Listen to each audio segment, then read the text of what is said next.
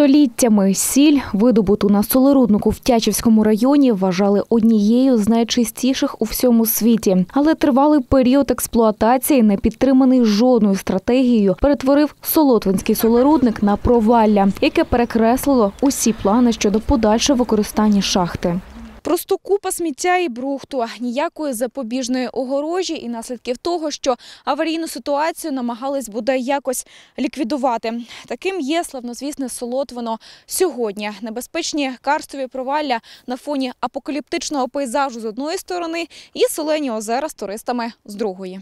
Велика кількість тутешніх споруд у вкрай незадовільному аварійному стані та руйнуються просто на очах. Значна частина підземних штолень знаходиться під житловими будинками Місцеві підтверджують, що не бачили, аби хтось систематизовано і технічно намагався провести ліквідацію наслідків карстових утворень. Никто ничего не делал. Где сыпется, везут шутер и сыпят туда. Ну, мы там, как сказать, мы туда постольку, поскольку не ходим туда, не, не интересуемся, так оно, кто его знает. То хотели, то говорили, что все куда-то будут нас переселять, то тут что-то опять переделывалось. В общем, ничего не понятно. Люди, короче, получается так. Кто говорит, что это э, зона аварийная, кто говорит, что нет.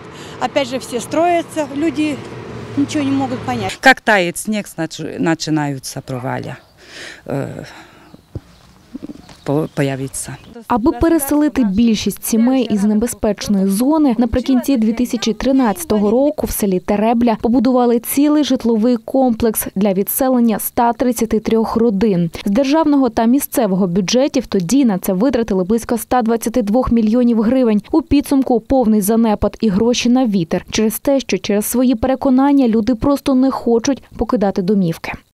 Ви ж знаєте, що там проживають більшість це румуни і угорці. І ті люди, вони ж там, у них є, скажімо, історична своя вже там е, місце таке осіле. У них там церква своя, у них там родичі. І вони, більшість із них не погодилися переїжджати у Тереблю.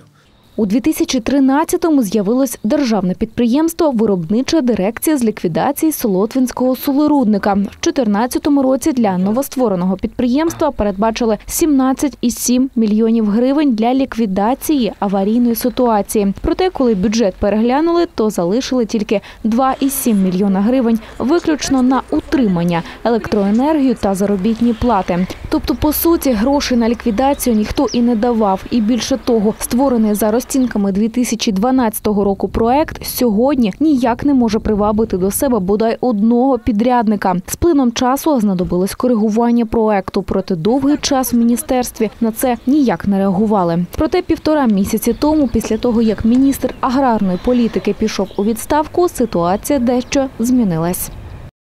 Ми звернулися до виконуючого обов'язки і недавно, буквально на прошлій неділі, була проведена в міністерстві нарада за участю виконуючого обов'язки міністра, заступників, директорів департаментів.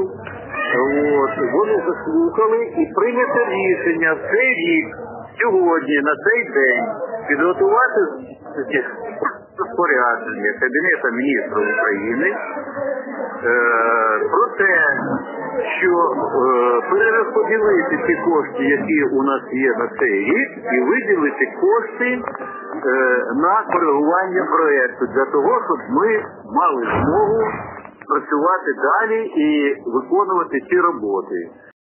Сьогодні ж відомо тільки те, що таке розпорядження Кабміну підготовлене на Міністерство фінансів, економіки та юстиції. Якщо коригування проекту таки завершать цього року, то роботи, закладені в проекті, зможуть почати вже у прийдешньому 2020 році. Тут переконані, якщо звернення не стане черговим папером, відкладеним у довгий ящик, а тисячі рухомих кубометрів під землею загрозою для життя тамтешніх мешканців.